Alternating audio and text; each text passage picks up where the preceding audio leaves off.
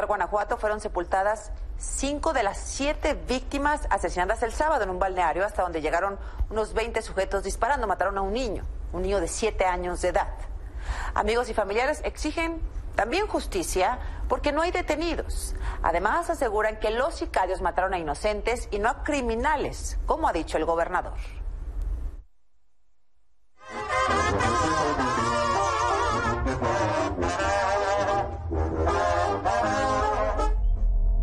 Así Francisco, Hugo Daniel, Lidia Teresa, Héctor Antonio y el menor de siete años, cinco de las siete víctimas asesinadas el sábado en el balneario La Palma en Cortázar, Guanajuato, fueron despedidos en el templo de la Virgen de Guadalupe.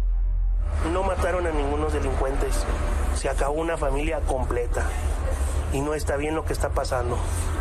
Ni en México, ni en Guanajuato, ni en ningún estado, no se vale. En el ataque, donde según testigos habían participado 20 sujetos fuertemente armados, murieron los esposos Lidia y Francisco, además de su hijo de 7 años de edad. Todo en presencia de su otra hija de 8, quien resultó ilesa.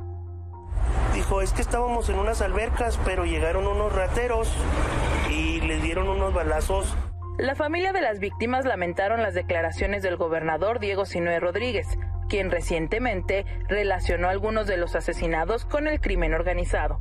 Checaron con sus objetos personales, checaron redes sociales, checaron contactos y no hallaron absolutamente nada de lo que, de lo que dicen.